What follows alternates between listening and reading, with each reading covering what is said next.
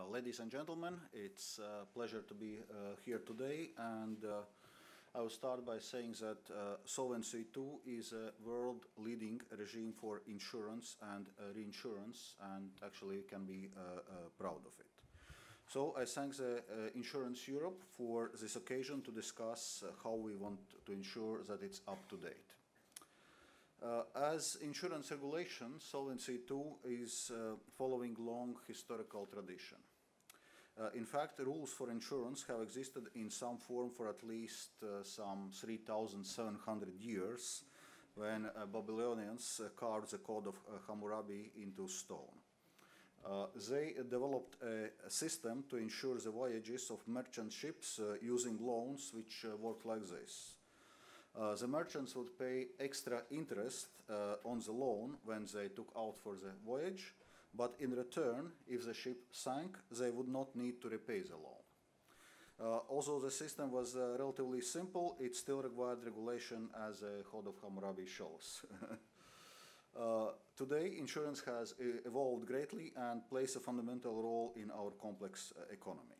Europe's uh, strong and vibrant insurance sector helps us to manage many of the risks we face. Solvency II is part of this uh, strength, but it also needs to be regularly evaluated and updated.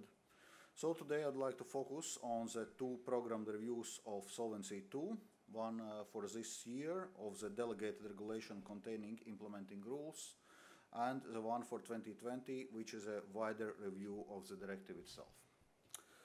Uh, let me, uh, uh, but let me first uh, uh, say a few words about the Capital Markets Union, our flagship policy to create a single market for capital, so to say, to put it in a broader uh, context.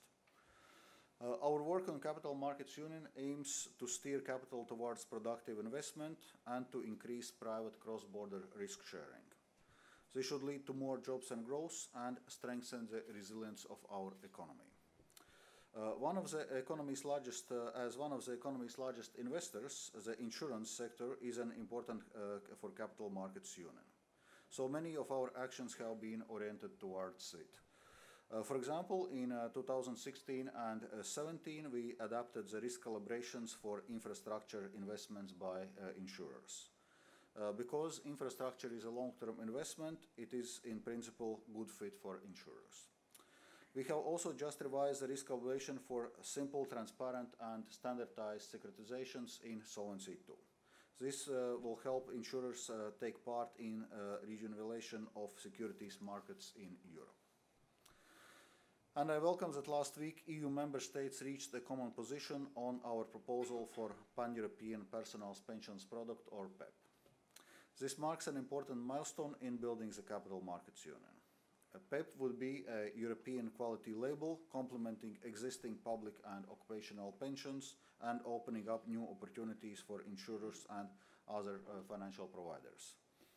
Uh, by unlocking uh, savings currently lying idle on low interest rate accounts, uh, PEP uh, uh, could put funds to more productive use and provide Europeans with additional possibility to save for their retirement. Portability is an essential feature of the PEP. The Commission proposal achieves this by creating a system of national compartments. By allowing savers to continue contributing to their PEP when moving to another member state, this guarantees the pan-European nature of the product. Uh, I understand those who expressed concerns on the requirements to open compartments when a PEP saver changes uh, residence, but uh, solutions can be found and we are open for. What matters is to preserve the pan-European nature of the proposal, as many co uh, uh, consumer organizations have also called for. This is particularly crucial to develop a PEP in those countries where the supply of personal pensions products is most needed and currently most uh, limited. As part of our proposal, uh, EIOPA would approve PEPs to ensure a single market for high-quality personal pension uh, product. This would also help uh, smaller and less known players access the market and gain trust of consumers. So that's why it's important to preserve also EIOPA's uh, role. Another important uh, capital markets union priority is sustainable finance. Last month we tabled a package of measures to put the strategy into law. Uh, for example, we are establishing rules about disclosure and public information which uh, financial institutions must give on their policies and practices in uh, this area. This includes insurers and insurance distributors. We are also adopting the suitability test for consumers to make sure that their sustainability preferences are soul-sighted uh, and fully taken into account. Uh, our next step will be to uh, propose uh, required changes to an insurance distribution directive delega delegated act.